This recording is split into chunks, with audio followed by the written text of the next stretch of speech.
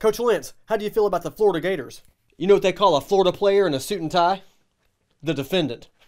Oh, here we go. All the jokes. it's Florida Hate Week. Now, my mama taught me not to hate people, so you don't hate unless that person is affiliated with the University of Florida in any way.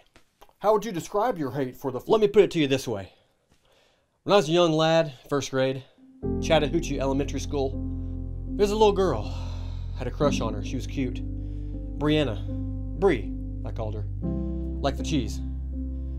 I was in love. She held my hand on the swings. Then one day, she came to school wearing a Florida Gators t shirt.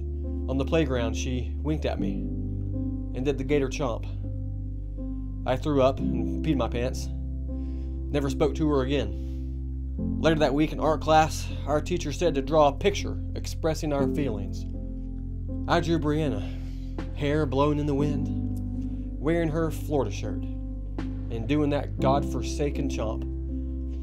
Then I drew Smokey, coming next to her and biting her arms off. And she can't chop anymore. And I felt better. I got suspended, had to spend some time in therapy, but uh, it was worth it. So, uh, coach. You know, I've been to Gainesville once, on my way to Disney World with my three daughters, Peyton, Jawan, and Kamara. We actually saw three Florida players riding in the car together. You know who was driving? Who? The cop.